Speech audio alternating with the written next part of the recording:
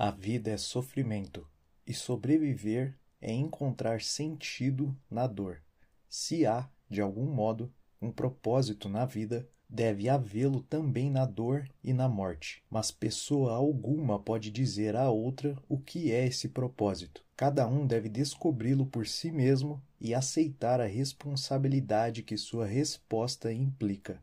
Se tiver êxito, continuará a crescer apesar de todas as indignidades. Frankl gosta de citar esta frase de Nietzsche: Quem tem por que viver pode suportar quase qualquer como.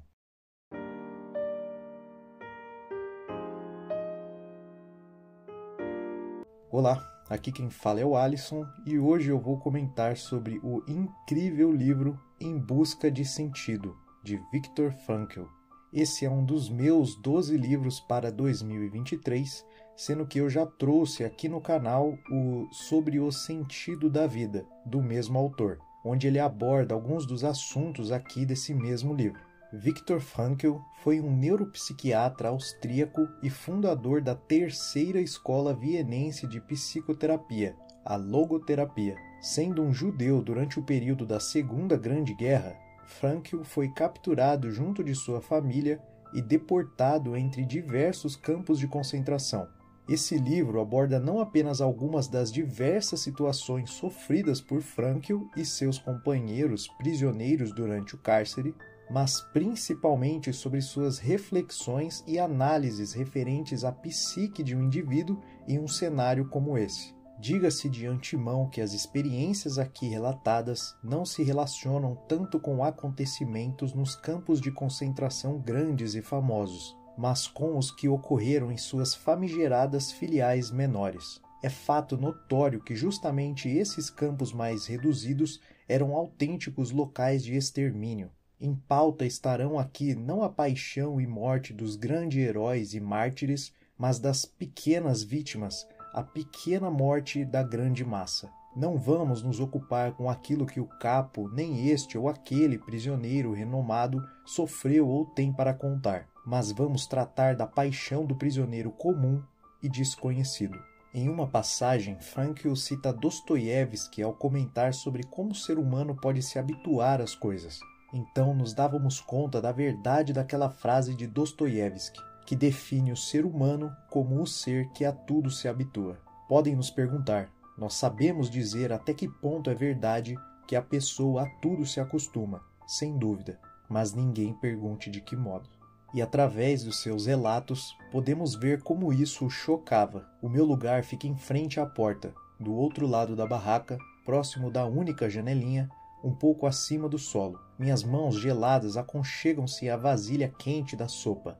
Enquanto sorvo seu conteúdo sofregamente, por acaso dou uma espiada para fora da janela. Lá está o cadáver recém-tirado do barracão, a fitar a janela de olhos esbugalhados. Há apenas duas horas eu estava conversando com esse companheiro. Continuo tomando a sopa.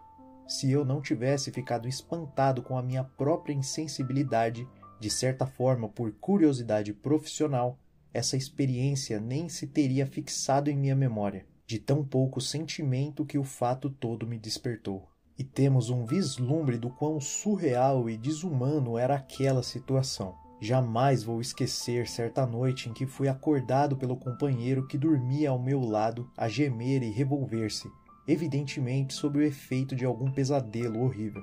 Eu já estava prestes a acordar o pobre companheiro atormentado pelo pesadelo. Neste instante, assustei-me do meu propósito e retirei a minha mão que já ia despertar o companheiro do seu sonho, pois, naquele momento, me conscientizei com muita nitidez de que nem mesmo um sonho mais terrível poderia ser tão ruim como a realidade que nos cercava ali no campo. E eu estava prestes a chamar alguém de volta para a experiência desperta e consciente desta realidade. A partir daqui, Frankl passa a tentar compreender por que algumas pessoas eram capazes de achar esperança e manter uma atitude positiva, na medida do possível, em uma situação como aquela. Quem dos que passaram pelo campo de concentração não saberia falar daquelas figuras humanas que caminhavam pela área de formatura dos prisioneiros, ou de barracão em barracão, dando aqui uma palavra de carinho, entregando ali a última lasca de pão? e mesmo que tenham sido poucos, não deixou de constituir prova de que no campo de concentração se pode privar a pessoa de tudo, menos da liberdade última de assumir uma atitude alternativa frente às condições dadas.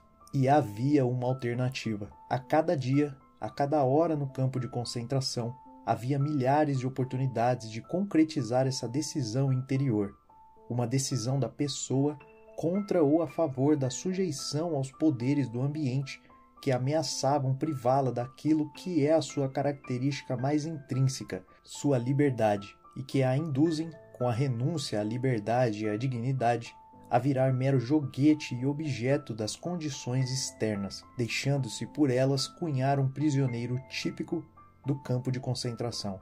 Em um dado momento, ele chega a traçar um paralelo interessante a respeito de algumas pessoas de constituição mais delicada conseguirem se adaptar melhor a um cenário aterrorizante do que pessoas de natureza mais robustas. Apesar de todo o primitivismo que toma conta da pessoa no campo de concentração, não só exteriormente, mas em sua vida interior, percebem-se, embora esporadicamente, os indícios de uma expressiva tendência para a vivência do próprio íntimo. Pessoas sensíveis originalmente habituadas a uma vida intelectual e culturalmente ativa, dependendo das circunstâncias e a despeito de sua delicada sensibilidade emocional, experimentarão a difícil situação externa no campo de concentração de forma, sem dúvida, dolorosa. Essa, não obstante, terá para elas efeitos menos destrutivos em sua existência espiritual, pois justamente para essas pessoas